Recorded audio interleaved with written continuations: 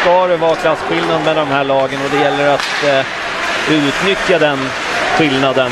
Ja. Det var ju tur att jag sa det, för då passade Gustav Björklund på att göra just det. Känns lite som att Huddinge börjar komma upp i fart. Va? Började väldigt långsamt.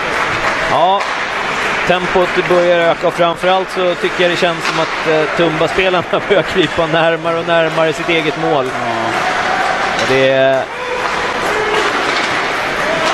Där har vi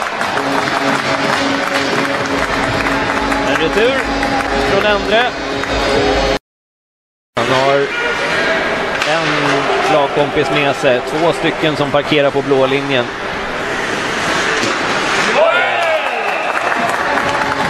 Rasmus! Rasmus Dahlberg Karlsson får, eh, jag skulle vilja säga helt ohotad, kliva rakt in på mål och eh, utmana Claes Endre. Han fick stryk. Ja. Nej, Sollentuna är absolut inte ett dåligt lag. Åh, det är riktigt fint spelat av Huddinge.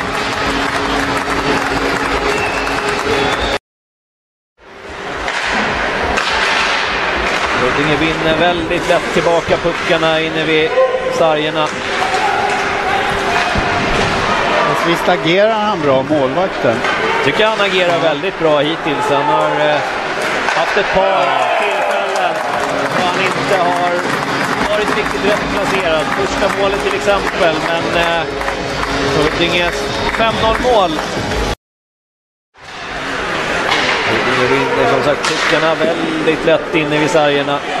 Det känns nästan som att de bara åker dit och hämtar puckarna. Vare sig det står en står Tumba-spelare där eller helt inte. fri också framför mål. Duckar tacklingen. Tidigt. Norén. På passning av Viktor Andersson och Måns Kryger.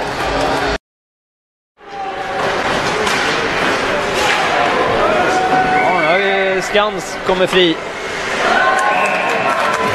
Men eh, du Boje läser honom som en öppen bok. det där var godis det där. Som småbarn, ja.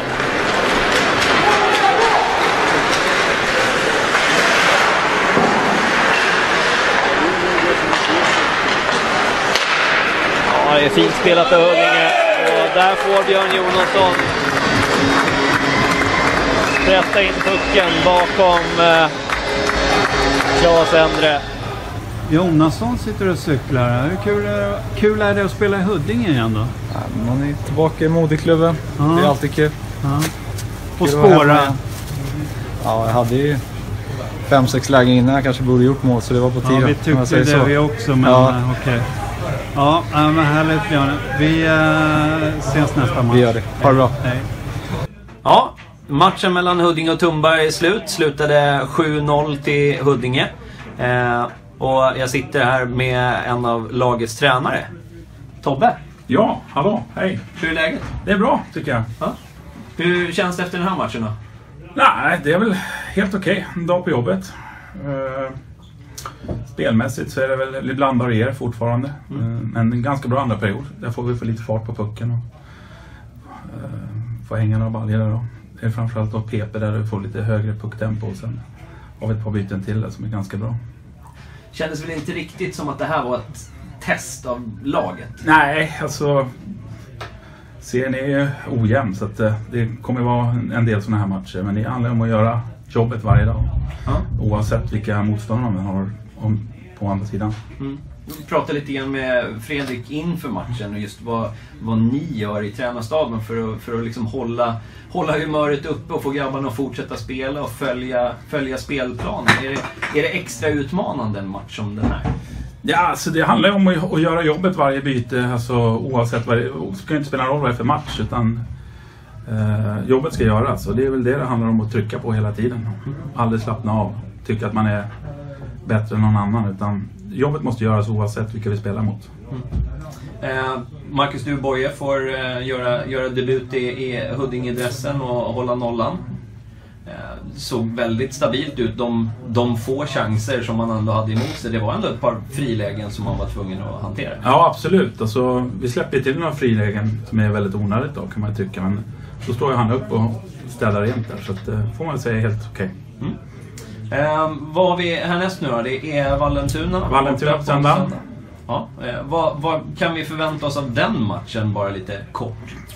Ja, så vi, vi vet ju inte egentligen standarden på de andra lagen förrän vi har spelat mot dem. Men eh, vi ska fortsätta jobba med speldetaljerna. Vi har ju en bit kvar innan vi eh, är klara så att säga. Så att, eh, det är en ny dag imorgon så det är bara återigen. Återigen. Härligt. Mm.